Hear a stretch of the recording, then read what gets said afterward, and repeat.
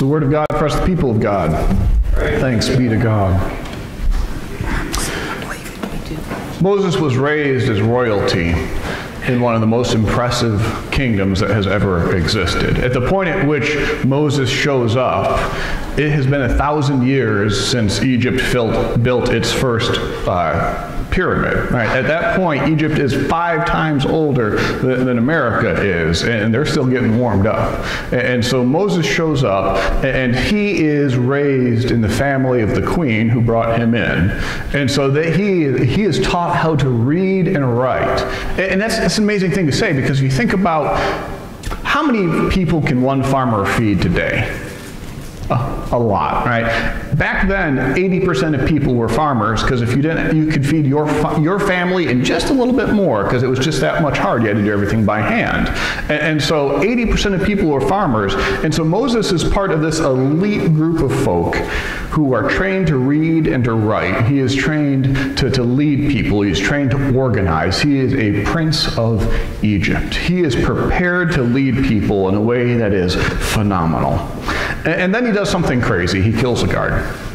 And we have all seen Charlton Heston's The Ten Commandments, so we all know how that tells the story that he is then brought before his, his uh, the guy who wants him out, and they, they he, he is sort of disbarred and, and, sent out. We don't actually know how that unfolded. The Bible just says he kills a guard, then he flees. We don't know if it's shame, we don't know if it's fear.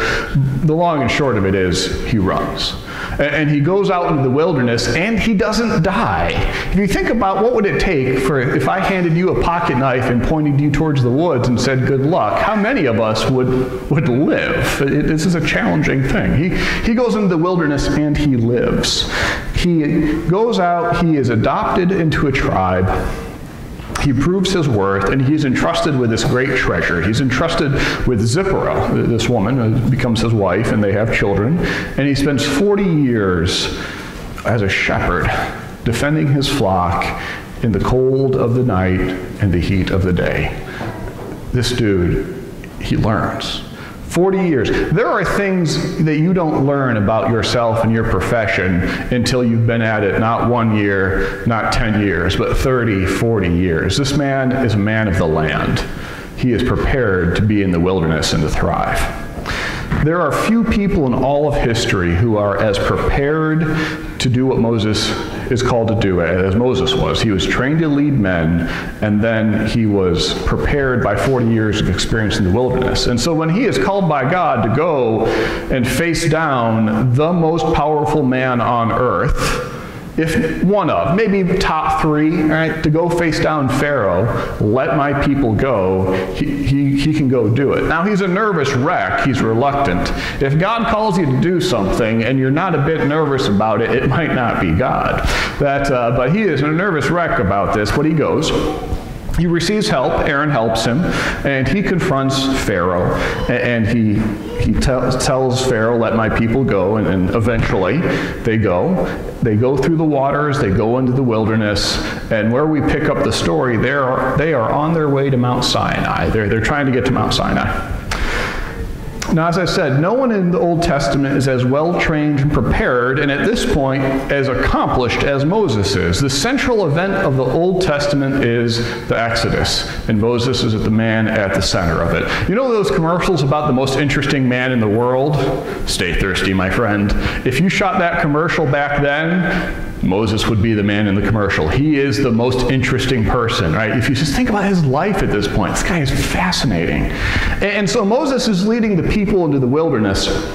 And Moses' father-in-law shows up, Jethro.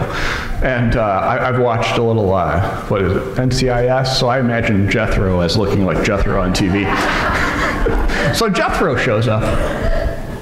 And he shows up, and it's important to read the first part of the chapter to get the sense of their relationship. Moses is the most important person in the room, and he bows before Jethro.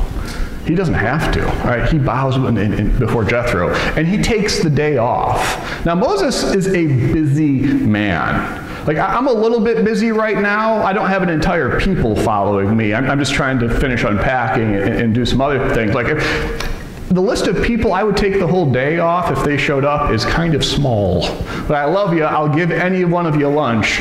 But to give you the whole day, whew, right? That, that's that's a big ask. And then not only does he take the whole day off for his father-in-law, he calls all the heads of the tribes and says, "You're going to have you're going to come have dinner with them." I mean, for someone to show up and then for me to call the board, "Hey, uh, Laura, could you get a board meeting together tonight? There's someone I want you all have dinner with." Yes, drop everything and the bo- everyone show up and have dinner. Like that's amazing uh, Moses and Jethro, they're tight. Right? They get along. They like each other. And, and, so they, they catch up. They have this good day. Moses takes the day off to chill with, with Jethro. And then the next day, Moses gets up, gets dressed, goes off to work, and he starts doing his thing. And, and Jethro gets up, enjoys his cup of coffee, and then goes off to, to see how this goes. And he goes up and he sees Moses doing his thing, judging amongst all the people. And there's this long line, and people are showing up and explaining their cases, their situations. And Moses is saying, hmm, this, or why don't you do this? And so he's, he's advising them. And then Jethro asks a question. What is this thing that you are doing for the people? Why do you alone sit as judge, and all the people stand about you from morning till evening? The tone of voice matters. The tone, tone of voice is essential.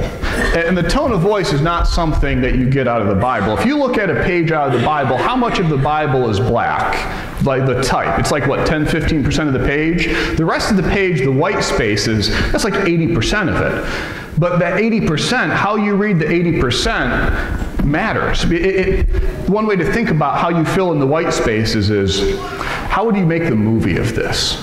Like if you were filming the shot where Jethro asks Moses, hey, why are you doing this? What's the tone of voice?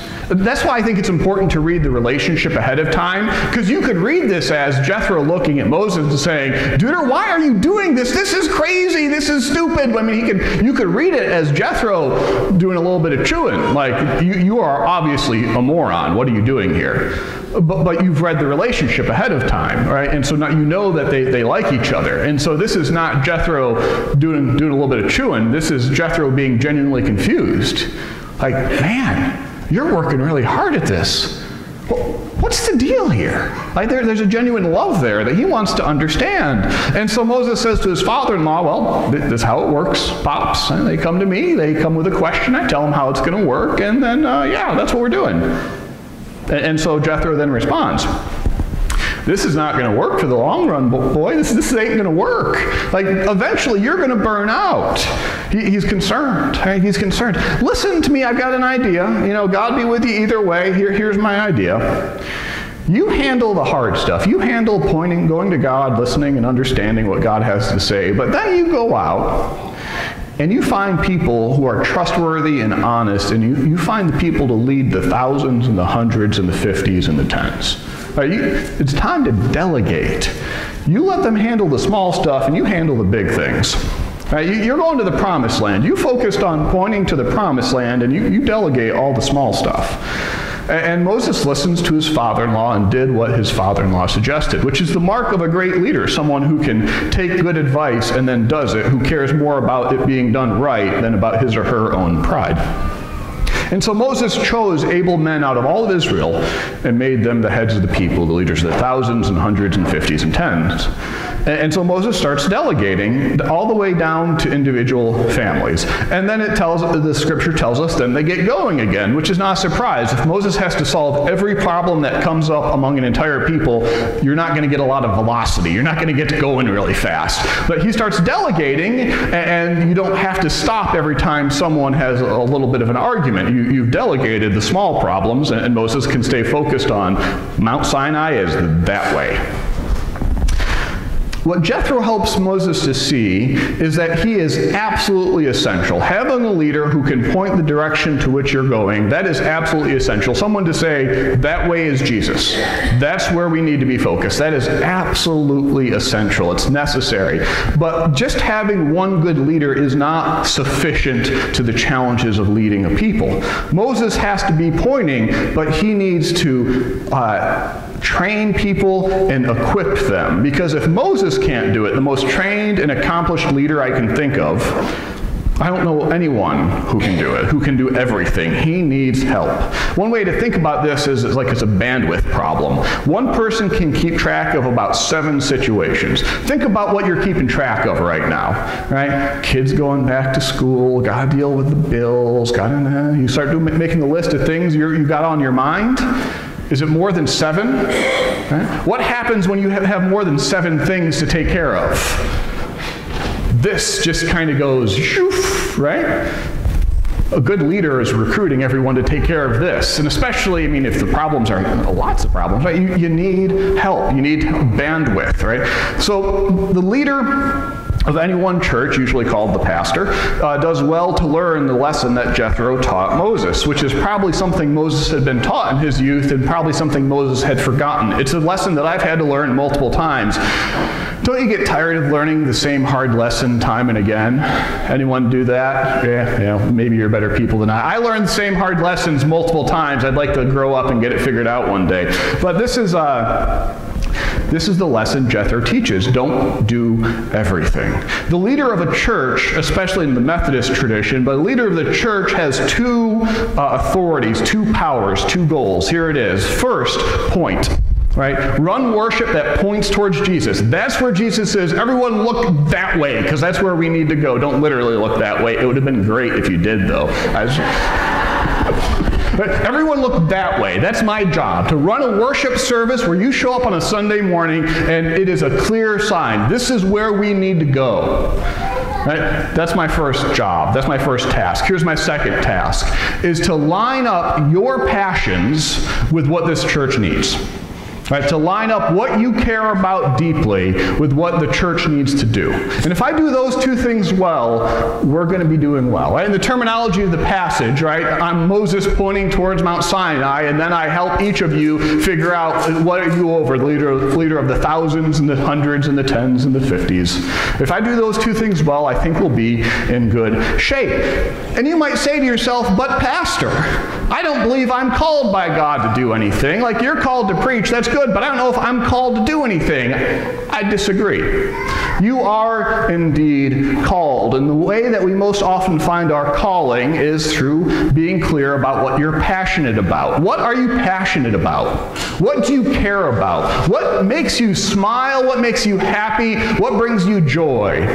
Right? To, to ask as specifically as possible, what do you suffer for?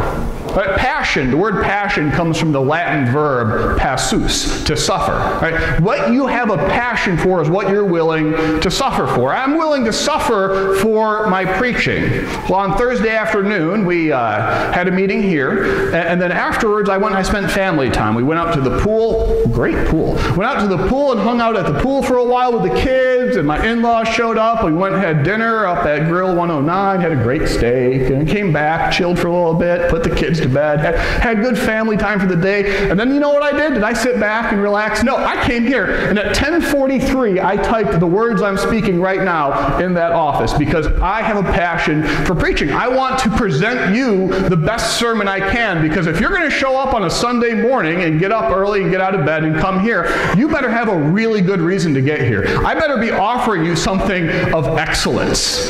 Right? That's my task, that's my passion.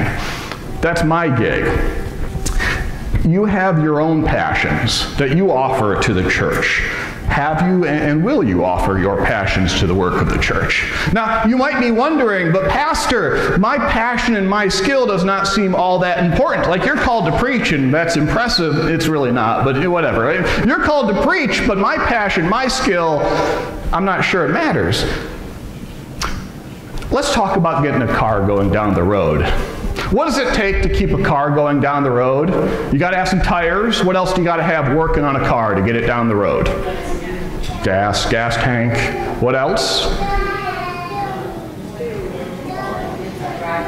Driver, yes. What else? I've got a mic. You don't. You got to speak up.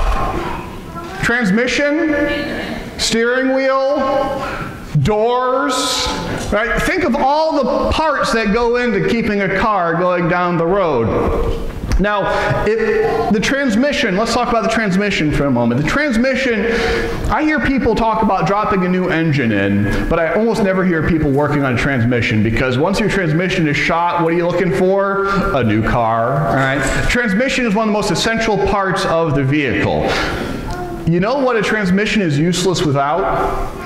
What is the most simple part of the car? The absolute most simple part of the car. It's that little lever, leveler of plastic that you grab and you move it from P to D. If you don't have the $5 gear shift, do you know how much use that transmission is? Zilch, right? It doesn't matter how good your transmission is. If you can't get it out of park, you're not going anywhere.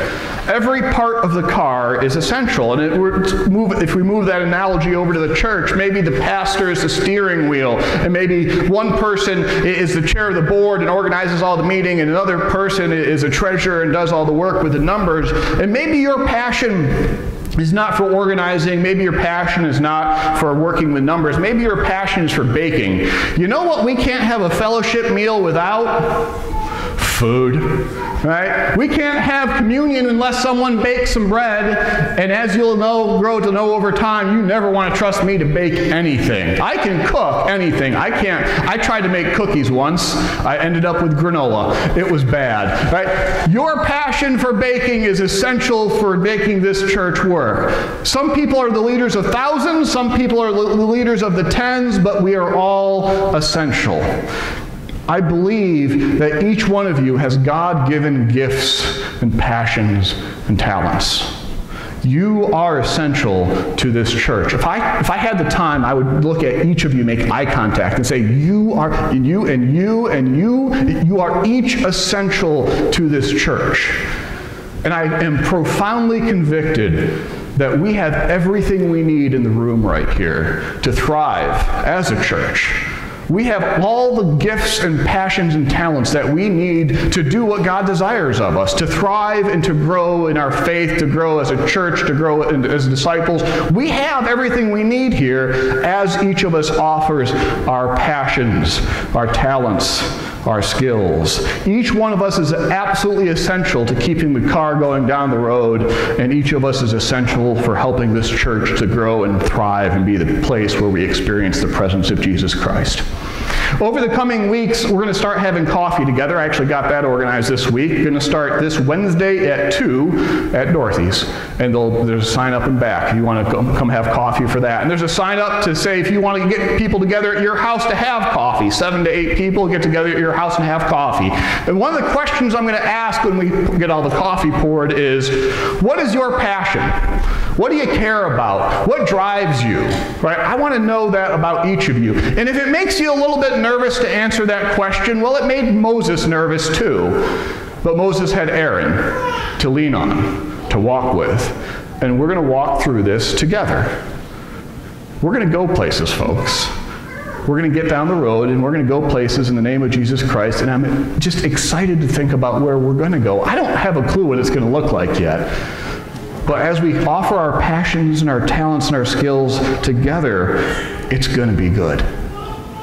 Thanks be to God. Amen.